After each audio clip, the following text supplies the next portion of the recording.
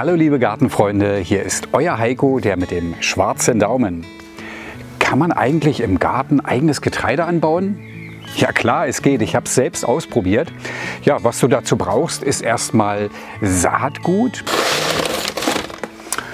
Wenn du das gar nicht so professionell betreiben willst, sondern einfach mal ausprobieren, dann geht natürlich auch, so wie hier vom Futtergetreide, der Futterweizen, einfach mal aussehen. Zum Beispiel im März, dann hast du ein Sommergetreide. Das gleiche könntest du auch probieren, die gleiche Saat im Herbst, im Oktober auszusehen als Wintergetreide. Oft sind die Sorten auch für beide Aussaattermine geeignet.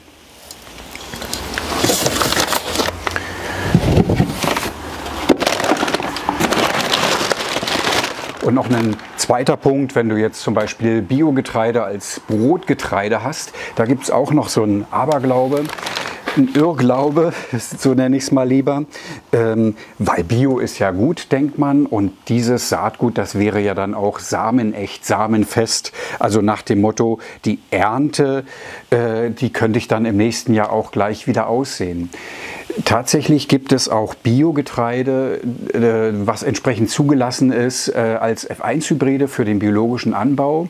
Das ist im ersten Jahr ganz hervorragend. Das Saatgut kann man aussehen, das bringt einen super Ertrag. Aber die Ernte davon, die kann man nicht wieder aussehen. Das heißt doch, man kann sie wieder aussehen, aber das Ergebnis im Folgejahr, das ist dann nicht mehr so hervorragend. Das kann komplett aus der Art schlagen.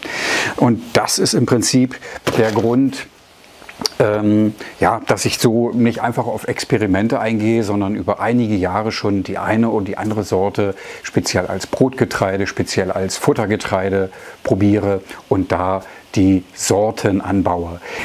Ja, und jetzt schauen wir mal in den Film rein, wie ich das im März gemacht habe.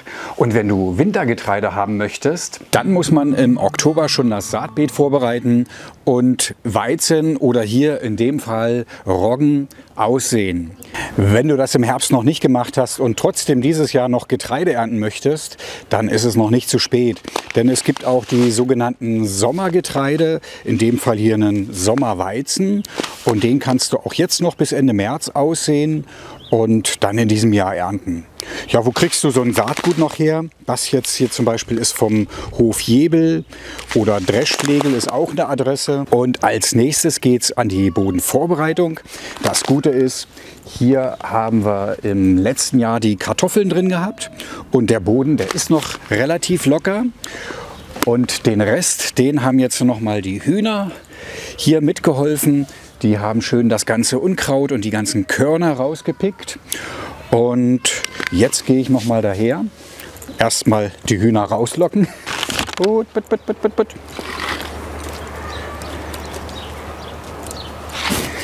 Mmh, lecker Weizen.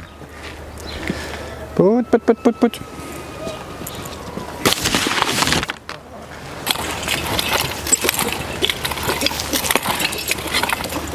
Um dann die optimale Saatmenge zu haben, habe ich mal im Internet gegoogelt, wie viel Korn pro Quadratmeter. 300 bis 350 Korn pro Quadratmeter. Habe dann 100 Körner ausgezählt, ja, und das dann großzügig mal drei genommen, also ausgewogen. Und habe mir dann die äh, Menge für 10 Quadratmeter in eine kleine Tasse gemacht. Am liebsten hätte ich das so groß breitwürfig ausgesät, aber es soll ja zumindest jetzt hier für den Anfang mal ein bisschen akkurater werden, bis man dann ein Gefühl dafür hat. Ja, und dann wird das hier locker verteilt, dass das auch wirklich für die ganze Fläche reicht. Und dann einschließend eingehakt.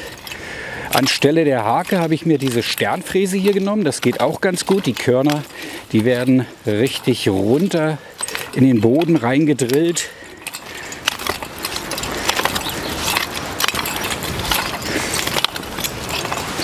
Und die Saat, die soll ja schließlich zwei bis fünf Zentimeter tief in die Erde. Wenn dann mal noch ein Samenkorn oben drauf liegen bleibt, das ist dann für die Vögel. Und alles andere, was in der Erde ist, das sollte dann hoffentlich auch aufkeimen. Und auf die Flächen kann man auch gleich rauftreten. Das ist sogar positiv, wenn man die Erde ein bisschen festtritt. Eigentlich könnte man die noch anwalzen, damit die Samenkörner wirklich im Boden sind. Aber ja, so viel Aufwand kann, will ich hier nicht betreiben. Noch eine zweite Variante, die auf alle Fälle noch sicherer ist. Dafür ziehe ich mir rein mit meinem Sauzahn. Dabei kann ich auch gleich noch in der Reihe ein bisschen tiefer auflockern. Und für die nächste Fläche ist jetzt hier eine Gerste geplant, aber das kannst du genauso mit Roggen oder mit Weizen auch so machen. Und zwar werde ich jetzt äh, immer so, ups, kann man das sehen? Und zwar werde ich jetzt hier immer so vier, fünf Körner, das ist ein bisschen mehr, also so greifen und die dann im Abstand von 10 bis 15 Zentimeter in den Boden reindrücken. Dabei verschwinden auf alle Fälle die Samenkörner exakt in der Erde. Und dann werden die auch nochmal zugemacht, die Reihen. Und im Abstand von circa 35 cm kommt dann schon die nächste Reihe. Ja, wie viel Getreide nehme ich da? Wichtig ist auch pro Quadratmeter die äh, gleiche Menge, in dem Fall auch circa 300 Korn pro Quadratmeter. Und das habe ich vorher mal auf einem Quadratmeter ausprobiert und da war das halt so diese Menge. Ja. Und im Unterschied zur breitwürfigen Aussaat kann ich hier immer noch schön durchgehen, ohne was zu beschädigen. Und ich habe auch eine Hackenbreite und kann hier auch noch mal den Boden lockern, von Unkraut befreien. Und das Jahr über ist das Getreide gar nicht anspruchsvoll. Es wächst so vor sich hin. Es ist gut, wenn es auch zum richtigen Zeitpunkt regnet. Aber in der Regel bewässert man Getreide auch nicht, weil es besteht auch die Gefahr, dass man zu viel wässert und es würden sich Pilzkrankheiten bilden. Es gibt natürlich auch verregnete Jahre, da geht es dann dem Getreide nicht so gut. Ja, jedenfalls wächst das hier kräftig und gesund vor sich hin und besonders stolz bin ich hier auf diesen Roggen. Das ist die Sorte Sorte Martin Schmidt. Der hat sich hier fast zwei Meter hoch entwickelt. Und das Tolle ist auch, äh, die Halme, die wachsen so lang, so hoch. Da hat das Unkraut hier unten drin kaum eine Chance. Und äh, damit ist natürlich auch ein gesundes Wachstum möglich. Wenn es geregnet hat, dann können die Halme schnell wieder abtrocknen. Und da sieht man auch die züchterische Veränderung, wie die dazu beigetragen hat, dass natürlich diese Sorten auch wieder, äh, dass die neu gezüchteten Sorten auch anfälliger sind eben gegenüber diesen Pilzkrankheiten. Wenn das äh, Unkraut gleich hoch steht mit dem Roggen, dann kann das eben nicht so schnell abtrocknen. Die kleinen Flächen, auch damals schon im Schrebergarten, die habe ich immer in Horsten ausgesät. Und jetzt geht es hier natürlich um größere Flächen. Da habe ich auch das mal mit der breitwürfigen Aussaat ausprobiert. Und äh, ja, das ist zum Teil nicht so gut gelungen. Da kann ich mir vorstellen, so lückenhaft wie das hier ist, dass das die Vögel waren, die das rausgefressen haben. Und äh, ja, so sind dann auch die Bauern auf dem Feld gewesen, haben Vogelscheuchen installiert oder auch mal mit dem Schrotgewehr im Feld gestanden, um die Saatkrähen entsprechend zu verscheuchen. Äh, denn das Korn, das wurde oft schon weggefressen, noch bevor es überhaupt aufkeimen konnte. Ja, und dann kommt das zu solchen kümmerlichen Wuchs. Das Unkraut nimmt ganz schnell die Vorherrschaft an und da bin ich dann sogar dabei gegangen. Das macht man auf dem Acker natürlich nicht, aber in meinem kleinen Getreidebeet habe ich dann auch das Unkraut gezupft. Auch hier auf der etwas größeren Fläche habe ich nochmal Roggen ausgesät, etwas später, ich glaube Ende März war es. Auch einmal in Reihen und hier breitwürfig. Da sieht man den Unterschied nicht so extrem. Also einfach auch vielleicht, weil die Nahrungssituation für die Vögel und Nager sich verbessert hat.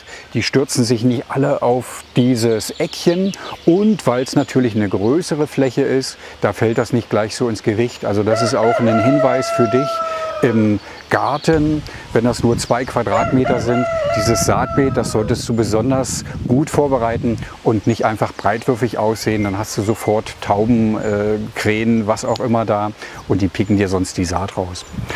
Ja, äh, hier auf dem großen Stück ist noch ein anderes Problem dazu gekommen, nämlich der Wind, das Unwetter.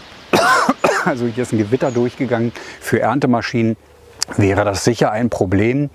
Äh, da ich das mit der Hand ernte, kann ich das sicher noch retten. Die Frage ist überhaupt, wann muss geerntet werden? Ja, ist denn das schon erntereif? Aber ich würde sagen, das ist das Thema für den nächsten Teil dieser Serie vom Korn zum Brot. Also, wenn du magst, schalte beim nächsten Mal wieder mit ein. Bis dahin, tschüss.